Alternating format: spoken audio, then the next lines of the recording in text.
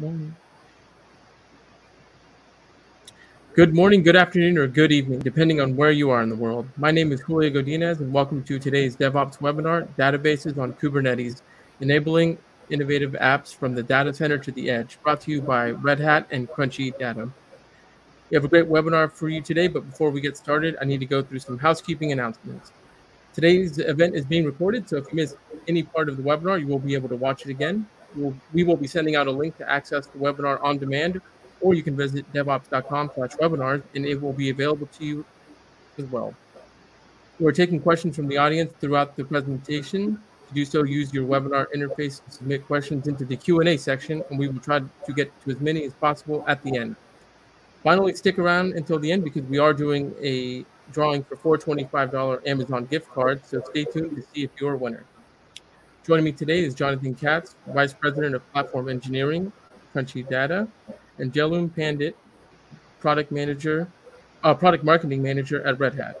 And with that, I'm going to put myself on mute, turn off my camera, and let you begin. Okay, thank you, Julio. Uh, thank you for the introduction. So uh, to briefly recap, uh, I'm Jonathan Katz. I'm the VP of Platform Engineering Crunchy Data. I'm very excited to be presenting on this topic today with Jehlum Pandit, who's uh, in product marketing at Red Hat. And not only are we going to talk about running databases on Kubernetes, we're going to look at you know really you know how far we can push this concept, and we're going to take it right to the edge, literally. We're going to learn how to store data at the edge on OpenShift uh, using all open source technology and really allow us to you know bring a whole new class of application and make it very accessible you know through edge computing. Uh, so just some brief introductions, um, a little bit a little bit about myself. Um, before joining Crunchy Data, um, I was you know previously involved in engineering leadership at a bunch of different startups. Pretty much coming from the application developer background, I was always the accidental operations person. You know, somehow it would fall into me, um, probably because I would tout Postgres so much and uh, my love of that project and sure enough, I, that actually got me involved in, you know, as an open source contributor. Um, I've been a long-time contributor to Postgres, primarily on the advocacy and outreach side and, and governance side. Um, currently a core team member, um, and have been involved in things from conference organizing to NPO governance uh, to you know social media outreach. Um, and you know, with that, I turn it over to Jehlum to introduce herself and start talking a bit about the, you know, what is this whole edge computing thing. Yes, Thank you, Jonathan. So I'm Jehlum, and I'm in product marketing at Red Hat. And I joined Red Hat last summer in 2020 as an intern, and I was focusing on workloads in OpenShift, which is where I'm focusing now when I joined full time. And I have a special, special interest uh, in databases and data analytics workloads, as well as Kubernetes operators in Helm. So let's dive right in. So this is what we're going to cover today. We will start, a, start by talking a bit about what edge computing is, why are businesses adopting it, and then understanding how databases fit into this edgy picture. We can then go over what a desired architecture might look like for use cases and the challenges that one might face implementing them, and how Red Hat and Crunchy Data can help you in this. So let's understand what edge computing is and how databases lend themselves to it and what use cases these things can jointly drive. Edge computing essentially extends processing and distributes it. It places processing power closer to the users and to the data sources, which eventually helps organizations support latency sensitive applications and to scale their architecture. Organizations no longer have to be restricted by geographies, remote locations, or by storage constraints. So why are businesses doing edge? Many industries are exploring the benefits of edge computing as it helps create differentiation. It allows organizations to react faster, connect everything, regardless of where it is, and deliver better experiences and business outcomes. Some key things that organizations are able to do with the help of edge computing is that they are able to use data derived from sensors, videos, devices, or any other edge devices to make fast data driven decisions. Edge also allows them to deploy latency sensitive applications with the experience that users expect, regardless of where they are. And data can be kept within geographical boundaries to meet regulatory requirements on data storage and processing. So overall, edge computing is really helping businesses gather and process data faster to identify new opportunities, offer better products, offer better services, as well as create new revenue streams and reduce costs. Now, what exactly are businesses doing at Edge? The first thing to note is that Edge is not really specific to a particular industry, and it can be seen across enterprise, public sector, telco markets, any and all industries. But the benefits that these industries derive from edge computing are pretty much similar. Faster processing, better application experiences, the use of data and analytics to make better decisions, like building better products, cost control, etc. One crucial thing that you might recognize across all of the use cases we have listed out here is that they're making use of a lot of data driven insights. All these use cases and many more are utilizing data at the edge and they are powered by deploying workloads such as databases at the edge. So, what value are the databases at the edge providing to companies, and how do they lend themselves to the many use cases that we just saw? So, Edge essentially allows businesses to put workloads where it makes sense to them, be it closer to the applications, closer to the end users, or even at remote locations such as oil rigs, trains, ships, cruises, even in space. Databases are incredibly powerful when deployed at edge. When deployed at edge, databases can store data locally closer to the applications, which helps save time, analyze things faster, and make faster decisions, providing a better overall experience. When the data is stored at the edge site, it allows for use cases on airlines, satellites, military applications, etc., to ensure continuous and offline connectivity. In case the edge site loses connection to the main central locations, or in case it loses internet connectivity, data can be stored offline at the edge until the edge site gets the connectivity back and can um, upload all of the data gathered to, to the central database, basically ensuring that no data is lost even in case of disaster. Keeping the data at the edge site also allows organizations to meet regulations and keep the data locally within geographical locations. This allows them to meet regulatory requirements and be compliant with data sovereignty rules. So, as we are seeing organizations ramp up their focus on edge computing and data driven insights and deploy databases at the edge, let's talk a bit. Uh, let's talk a bit more about the data management capabilities that you would need at the edge. What would a data pipeline from edge to on prem or the cloud look like? What tools would you need? The first step would be, to, would be to ingest and aggregate the data that is being generated at the edge. This could come from various sources, for example, sensors, smart devices, medical devices, military devices, anything, and so on. Next, this data can be stored in an operational database deployed at the edge that stores data closer to the applications, and this could be a SQL database such as Postgres. Another key component of this data pipeline is the central database. That could be anywhere. It could be on-prem or in the or in the public cloud or in the private cloud, anywhere. And it stores the data collected from the edge site or from other systems or applications and consolidates all of it in a single location. And the final important components are the data transformation, the data transfer, and analytics tools that will eventually help prepare, process, and transform the data and make it ready into uh, make it ready for use cases such as data analytics, AIML, or any other things. And the tools that can be used are Presto, Apache Kafka, etc. So how do we piece all of these together? How do we piece all of these components that we just spoke about into uh, what how do we understand what goes at the edge and what goes at the more central site or in the cloud or on prem let's talk about what an architecture might look like for deploying databases at the edge. So the use cases that we are seeing and the applications that are being built lend themselves very well for containerization. These apps ideally require positioning a small workload at the edge and adopting containers for these applications delivers a faster time to market improved application quality, and the agility to respond to changes in market segments. Containers can power innovation at the edge because they are portable. Containerized applications can run across core data centers, public cloud, or edge infrastructure, as we just discussed, providing a very flexible approach that lets organizations evolve their application strategy to meet business needs. Containerized applications are also very lightweight, so they can start more quickly and are lightweight enough to meet the small hardware requirements, which is in fact perfect for edge sites because they just have really limited physical footprints or storage capacities or even power and cooling resources. Finally, to make edge computing successful, applications need consistent lifecycle management across a wide variety of systems and at large scale containerization. It supports a consistent application development and deployment experience. So let's take a look at what a conceptual architecture for containerized databases at the edge might look like.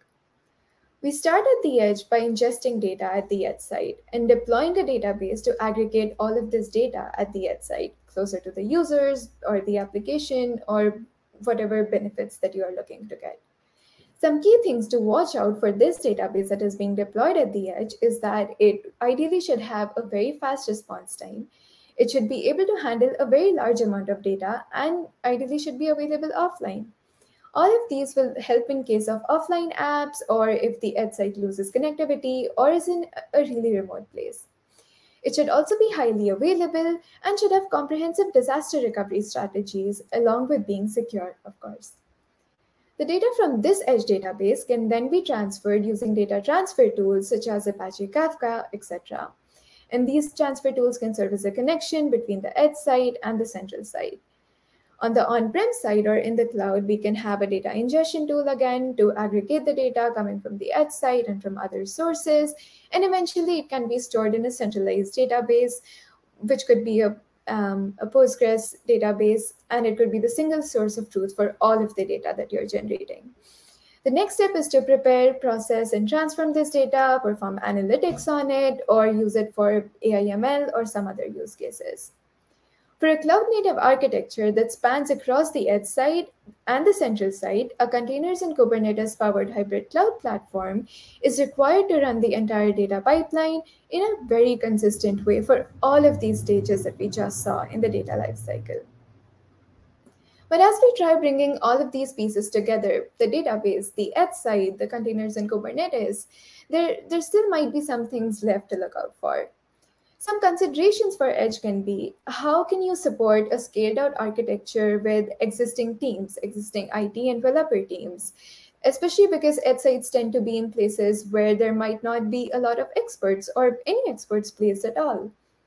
Again, as we move to the edge, there is a lot of variability in both hardware and software, as well as how much space is available and how much connectivity is available. So how do you manage this variability? How do you manage the architecture that can have tens to thousands of nodes or clusters? These are all things that you should consider when thinking about edge computing. Again, on the sorry, yes. Hi, John. Please continue. Yeah. Oh, okay. Yeah. So on the data workload side, there are also some potential concerns um, when it comes to deploying data workloads on containers and Kubernetes. Data loss, failures, and downtime could be a concern. so is the operational complexity and the performance trade-off that could be included. And there's definitely a huge concern about lack of skills or lack of ISV support and documentation. So these are some things that you should keep in mind when selecting which database partner to go for. Yeah, and and a lot of those, you know, in, and on the managing data complexity, you know, that applies to any environment. It doesn't matter if it's on OpenShift or you know, bare metal or virtual machines. You know, these are all challenges you see in them. But this is where you know there, there's a lot that we can leverage in OpenShift and Kubernetes and you know containerized platforms that can help make the complexities a lot smaller in terms of managing the data. I think with that, uh, let's you know let's talk a little bit about what uh, Crunchy Data and Red Hat have been working on, you know, through the years around this. And um, you know, going going to uh, the next slide. First, the question is why deploy databases and data analytical workloads on Red Hat OpenShift? And this was a question that uh, when I first joined Crunchy Data, you know, several years ago, the big the big question was, you know, why even run a database in a container? The question today is more is has changed. It's more like why don't you run a database in a container? And there's a lot of advantages for that. first, you know, the idea of you know automated operations that you can declaratively declare a database. You can just say, hey, I want to run Postgres. I know I need two cores. I know I need four gigs of RAM. I want high availability. I want my backup stored, you know, in you know in an object storage system somewhere, and boom, like all of that, you know, gets created. That takes a huge operational burden off of application developers, and something, as I mentioned up front, I'm, I'm very sympathetic to. And the fact that it's also both consistent and portable, that my my manifest for deploying uh, a Postgres database works no matter where OpenShift is deployed. It could be on-prem, it could be in the cloud, it could be you know a hybrid solution. Um, no matter what, like the same manifest is going to work everywhere. That's huge, and that's something that I even you know, I even saw when I first started working at Crunchy Data. Is that wow with OpenShift, I basically have made my data workloads platform agnostic. You know, there's just a unified API for doing this. And last but not least, you know, having you know, the correct partnerships and integrations, you know, with, with you know ISVs can certainly help you, you know, optimize your databases for production workloads and you know help tailor them to, to what you're doing. And again, you know, Crunchy Data and Red Hat have been working together through years on this. I mean, you know, we uh, we started working with Red Hat when uh, you know they were called cartridges, not containers yet.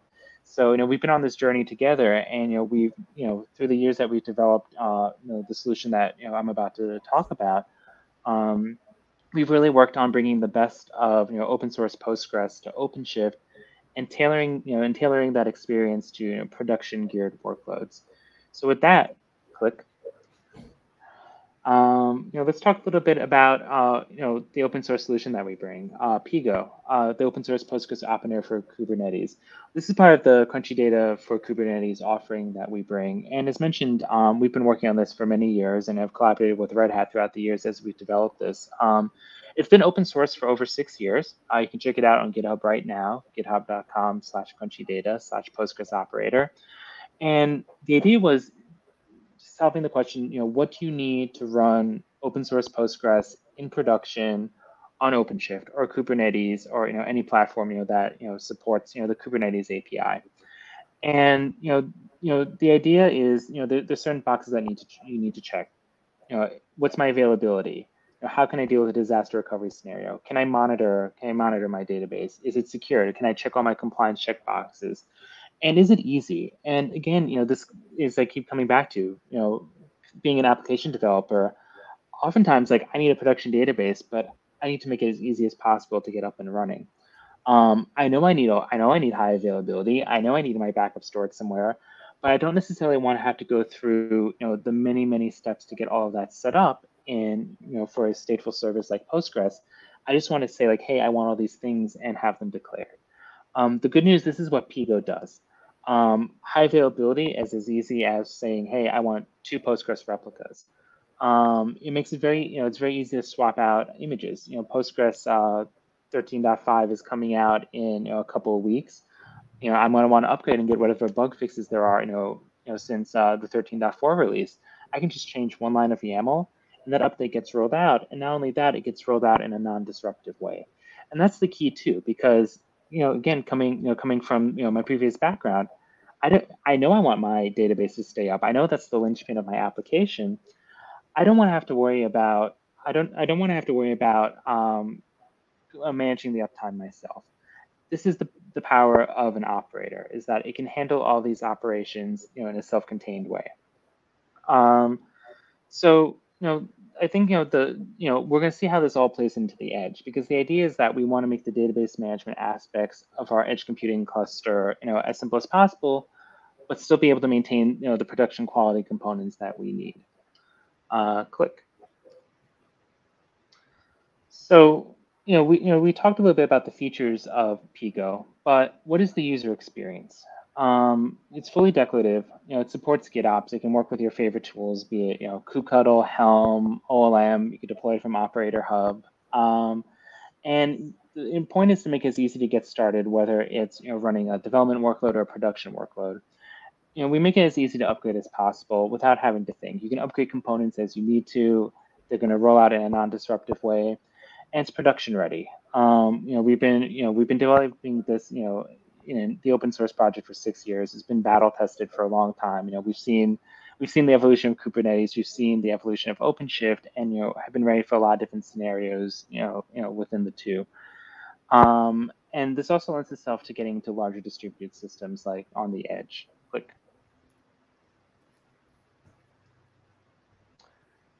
So let's look at an architecture for how we can get this done.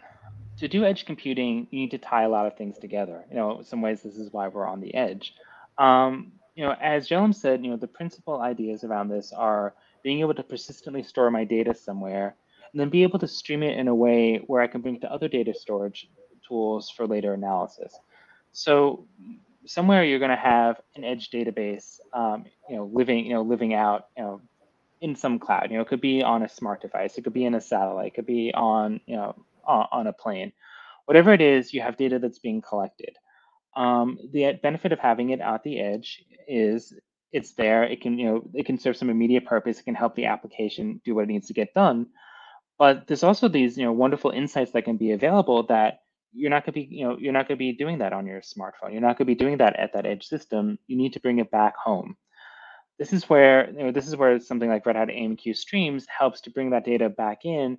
It could be to an intermediate database. It could be into you know a different you know, data processing area, um, or it could bring being back into an analytical database. And once that data once it's in that database, then you can start doing some of the data warehousing, advanced processing, you know, other types of things that you need to do. Where this helps is that by bringing all this data home, you can actually accelerate how you're uh, doing your analysis because all the data from your edge devices are in one place. Um, you save the power on the edge device by not having to do the analysis there. You're able to do it in a centralized warehouse where you're optimizing your architecture, your hardware, your infrastructure for, for all the things around that analysis. Uh, click. What's cool about you know everything that we saw in that architecture is that it's all open source. It's all powered by open source. Um, the Strimzi operator allows you to deploy Kafka on OpenShift in a way that's very convenient um, and basically makes it very easy to uh, one not only deploy Kafka but be able to set up your environment for transferring data between your edge databases and your analytics database. The Debezium creates a standard, a standard, it's called like a standard language for being able to speak data between different databases. Now, of course, I want to analyze everything in Postgres. I want to capture everything in Postgres, but the Debezium would allow me to transfer that between other databases or take data from, say, you know, some random database out there and bring it into a Postgres database for later analysis. And what's wonderful is that it works very nicely with the Strimzi operator. Last but not least, there's the there's the Pigo, the Postgres operator that is you know within this architecture. I think the best way to discover how this all works is to demo it. So without further ado, um, I am going to uh, start demoing. And we're going to see how well a live demo goes. Exciting times. So here's my screen. Um, First, let's make sure we have everything set up. Yep. So we should see a command line terminal. Jehlum, are you able to read what I have on the screen? Yes, I am. Perfect. All right. So I've gone ahead and got and I've already uh, deployed a couple of the components um, in my namespace. Um, and of course, the first thing I do is I mess up the command. So I've already deployed both operators that we're going to need to use in this demo. Um, one is Pigo, the Postgres operator, and the other is the Strimzi operator, which helps deploy Kafka clusters. Um, I have, of course, pre-scripted this demo, but it will still be live, so we shall see everything that goes. And we're going to deploy two things right now. We're going to deploy uh, our Kafka broker, as well as our edge databases. And you can see that I've deployed three of them. Let me just step through um, the, the Postgres databases real quick. Um, so if you can see, if you can see this manifest, um, here's one of my edge databases. You can see it's actually quite simple to set up. Um, I've done I've done you know sort of a basic setup only because I'm doing this demo locally and I don't want to you know tax you know all the resources on my system. But to deploy a Postgres database, I can say, hey, I want an instance. You know, here's my instance. Um, you know, I want to deploy. I want you know five gigabytes of data. If I want to add make it high availability, all I have to do is add you know replicas too, and suddenly I have two Postgres instances. Um, the HA system uses a distributed consensus-based uh, setup, essentially the Raft algorithm. So that way, uh, there's no single point of failure in it. Um, down below, you can see that I've deployed a backup repository, so I get backups by default. Um, things are continuously being backed up in archive, so that way, if you need to perform a disaster recovery operation like a point-in-time recovery, you don't need to sweat and wonder like, are my backups there? your backups are there. You can recover easily from that. Um, if you want to explore uh, the CRD, uh, kubectl explain will give you everything you need to know about that. Um, and you know we can dive into it and see you know everything that's available for uh, deploying a Postgres cluster. Just dive into the instances a bit more. If I want to add more resources or set limits, I can go to the resources. I can uh, use some advanced some advanced uh, Kubernetes uh, deployment strategies or tolerations. The upcoming release, uh, you can uh, use uh, pod topology spread constraints and other things that have come out in newer versions of Kubernetes and OpenShift. That being said, I think I've probably stalled enough for time pitching all the benefits of deploying Postgres with an operator. we can see that our Kafka broker is up, all of our databases are up, and everything is looking good. So let's start populating some data in our edge databases. I'm gonna go back to our demo script.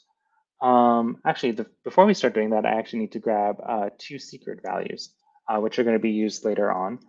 Um, it'd actually be cool to explore the secret a little bit because uh, the way the secrets are designed with the Postgres operator, uh, it's actually relatively convenient to uh, to uh, tie it into an application. Um, of course, I'm doing it, you know, the old-fashioned way by getting extracting the value out, but in an application, it actually, uh, you know, if you if you're following the 12 factor pattern, it's actually you know, fairly simple to tie in. So let me just show you that real quick. Describe secrets, edge.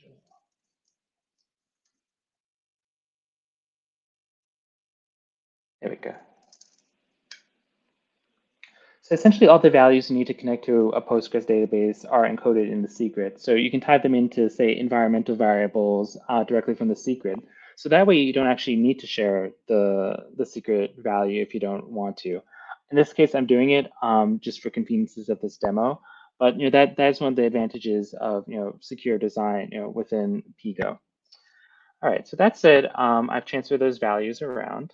Um, actually, I need to put one in one more place benefits of a live demo. All right, so now that's done. Let's start adding some data into our database. Um, I'm going to do this. So actually, while I'm doing that, first I'm going to deploy uh, our Kafka connector, which is going to bring up Debezium, and we'll talk a little bit more about that in a second. And while that's coming up, let's populate our edge databases with some tables and data. So I'm going to be, uh, I'm going to do the shortcut way and execute directly into the databases. I'm going to create a table called users, my first Edge database. And I'm going to insert a user. That's simply myself. We're done. We can see that in the Edge 01 table, um, we have we have a bunch of users. Cool. Now I'm going to I'm going to exec into the other Edge database, and we're going to create the same exact table and structure. And we're going to add a different user this time. We're going to add Joe. Cool. So we can see in the second edge database, uh, Jehlum is a user within it. Now we're going to exec into the analytics database and set up something a little bit different. Um, basically, we're going to prepare for doing some real-time analysis on this data. So I'm going to create, I'm also going to create a users table, um, adding a field uh, so we can record the timestamp when it was created at. Then I'm going to create some something to do some analysis. Here, let me copy and paste it. So I created an analysis table called user signups per hour. So we can see how many users are signing up per hour. Um, if all goes well, we're only going to see two. Um, and, I, and I have a trigger basically to detect that every time um, you know someone you know every time something's inserted into the user's table, we recalculate this. Now, there's many different ways we can get at this. I could actually have this uh, Debezium stream directly into an application and perform this calculation, or I can have a materialized view on the table. Um, just for the purposes of this exercise, I built out a trigger. Um, cool. So we should be just about ready with our Kafka connector. We'll talk a little bit about that for a second. So the Kafka connector, um, that's part of that's part of the Strimzi operator, and basically allows me to deploy uh, a connector, in this case Debezium, to be able to transfer data between my databases. Um, just for uh, just for sanity check, I'm gonna I'm gonna create a log on it.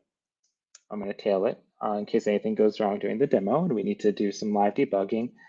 And also, um, I'm going to, you know, I, I basically have it referenced as uh, one of my exec commands, and I'm going to sub out the pod name. Cool. So we're about ready to go. Uh, let's let's get edgy. Um, there's two parts to uh, connecting our databases up. We need to create sources and, and sinks. Sources are essentially the data sources. It's basically saying like, hey, here are my edge databases, extract this data out and put it into a Kafka queue. And sinks are saying like, hey, there's data in a Kafka queue, read in this topic and you know, plug it in. Um, I will note that I might need to run this a couple of times based upon some of the persistence settings I have set up in my local environment. In a production environment, you would not need to do that. So I'm going to create two sources. Ooh. First, I'm going to get my mouse under control. And then I'm going to create two sources uh, that's going to pull data in from my Edge 01 and my Edge 02 database.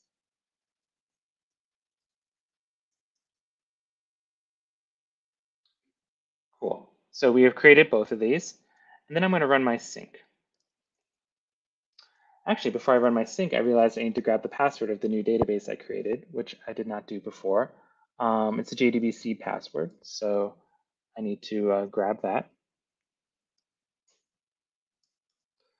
And let's run, let's set up our sync. So what the sync is going to do is it's going to pull data out of the queues and put it into, you know, and put it into our analysis database. So let's see what happened. Um, it looks like I might have had an error somewhere. That's why that's why we do this.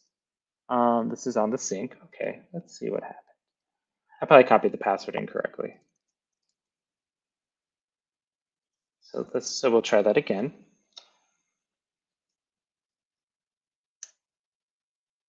It's not a live demo unless something goes wrong.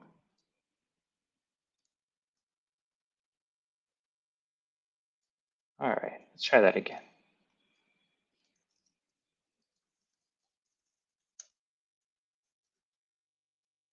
Okay, looks like we were able to connect this time. So let's see if we actually got the data in. Um, if not, I'm going to run those commands again and it should. All right, we're in our Edge database. Do we get the users in? Nope. Okay, so here's what we're going to do.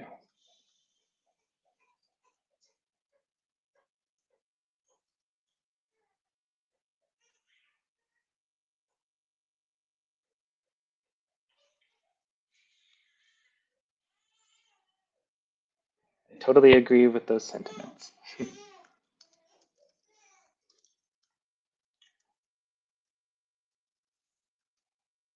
All right. Nope. So, so I still have an error somewhere. Okay. Um, I do want I do want to get to the really cool part of this. So.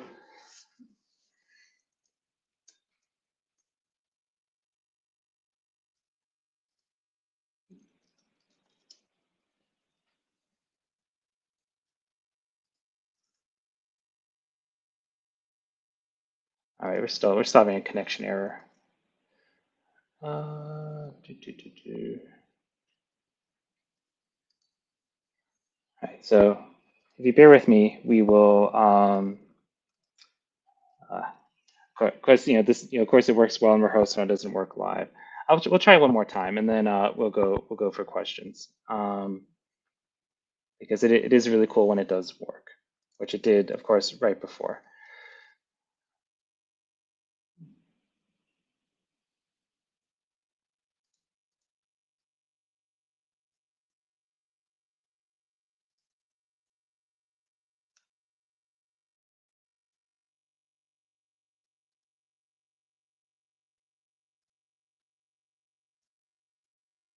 Yeah, so that, that all looks correct.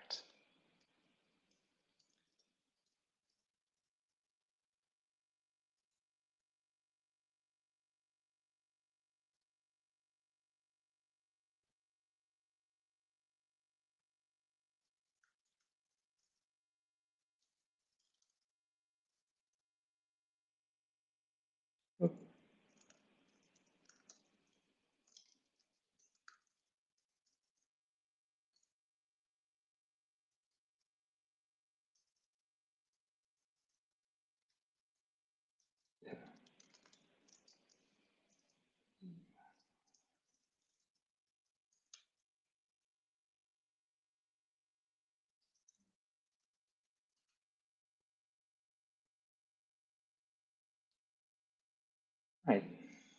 That could be that could be the issue right there.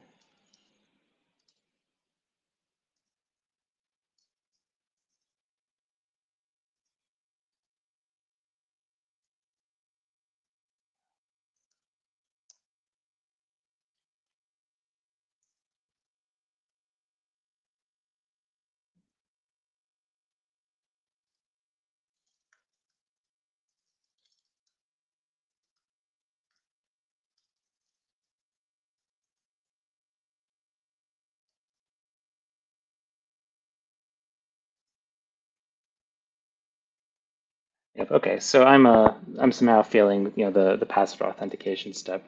I'm going to do I'm going to try one more time, and if not, then uh, I've been defeated by the live demo gods.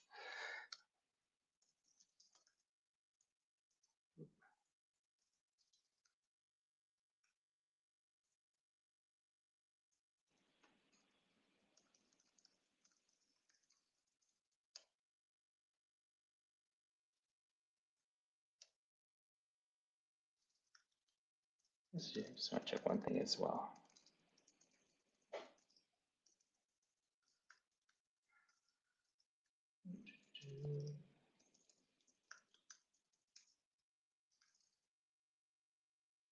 Cool. Okay.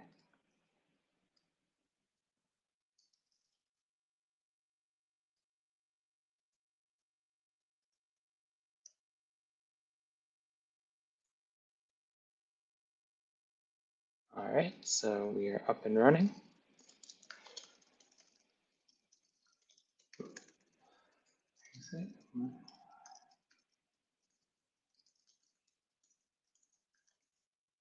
Yay, we did it. That's how about some live troubleshooting? So cool. So we have our user data from our edge sites here. And if we look at our user signups per hour, here we go, it got updated. So let's uh, let's try to complete the demo successfully. I'm going to insert one more row into one of the edge databases. Um,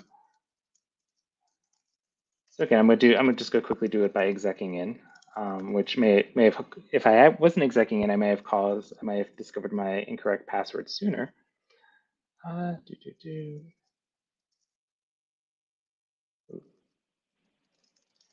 All right. So in this table, um, you know, we have you know these users. Let's uh, let's insert a new user, and I'll say can't get password correct to make fun of myself. Cool. So we have a new user. Um, I'm going to make sure my uh, my stream is set up correctly again, because as I said, I, have I've had some weird persistence issues on my local environment. All right, so that is set up. Uh, let's make sure our sync is set up again. And again, in production environment, you would not need to do this. In production environment, you'll also get your password correct too. All right. Uh, let's see, did the user get inserted? Yes, it did in, in our analysis database. And did our table get updated with the stats? Yes, cool. So we just did some real-time analysis on the edge with a few bumps along the way, but you know we are living a little bit on the edge. But that's uh that's uh, that edge. This is an edge computing environment, and you can see that I can do work on other Postgres databases that are somewhere out in the cloud, and then bring it back into a centralized environment um, you know, in, you know, to perform later analysis. And this is cool because all these different databases are in write mode. Um, these are not necessarily the replicas. I can attach replicas to each of these databases for high availability purposes, um, but I can still do this distributed real-time analytical computing in a way that uh, you know can conveniently shift the workload, you know, all throughout your environment. So with that, I will conclude this demo and uh, pass the screen back to Jehlum.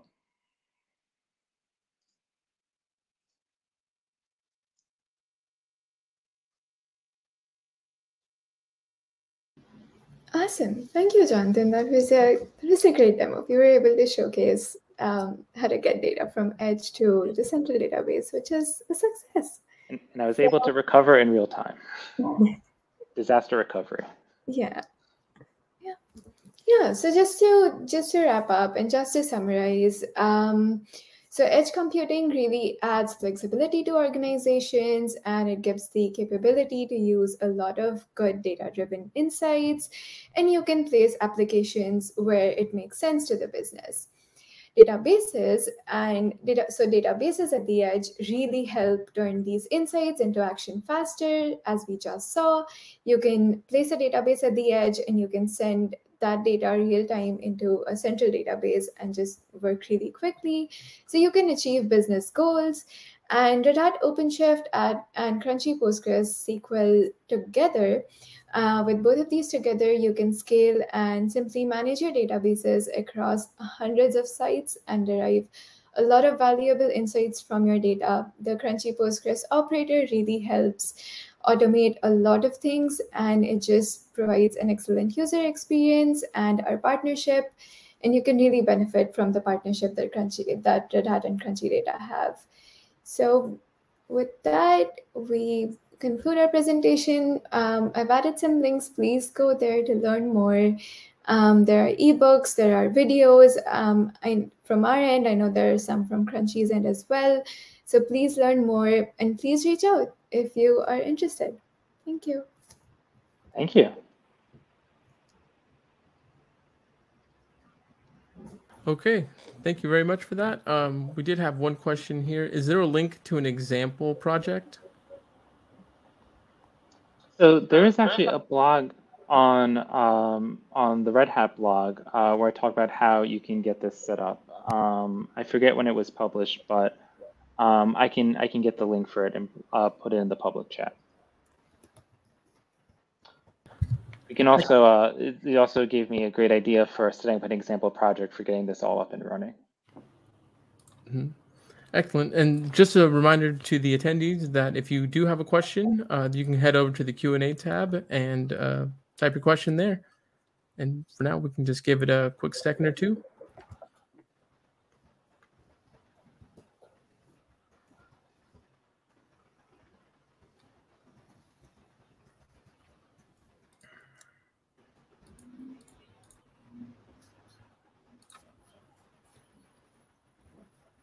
Okay, and the link was posted, so thank you again for the link.